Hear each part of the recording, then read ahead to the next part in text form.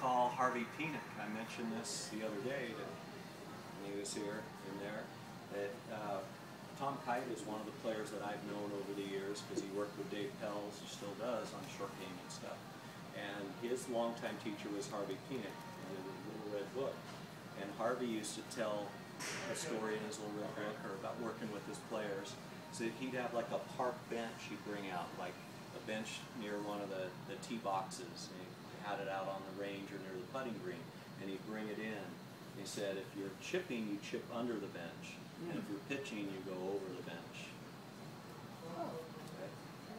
Sometimes it takes a little imagination in your practice because depending on where I'm practicing, I might be near the green, but I want to place some pitch shots to longer pins. So what I do is I take clubs and I'll set them out on the green and I'm imagining that's the edge of the green. This is not the green, even though it is. So my imagination, I'm trying to pitch over my club to go towards that pin. Just because I might not be able to get further away from the green from where I am to be able to play those pitch shots. So, or sometimes I'll take head covers and put them down, or tees. A lot of times I just take take clubs and set them down on the green and pitch over. aid, see the Yeah, it gives me a visual aid. Now, the technique for pitching is very similar to wedge shots. It's hinging the wrists.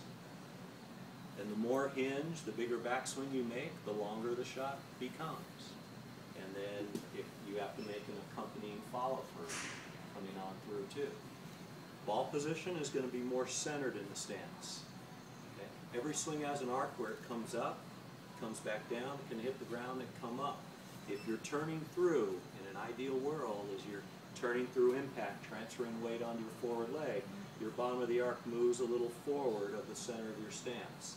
So by putting the ball in the middle, you're able to hit the ball and oh. then a little bit of turf Okay. and then a little bit of turf. And it's not necessary that you have to take a divot, but I believe it's necessary that you need to sweep the grass. So you need to sweep that grass.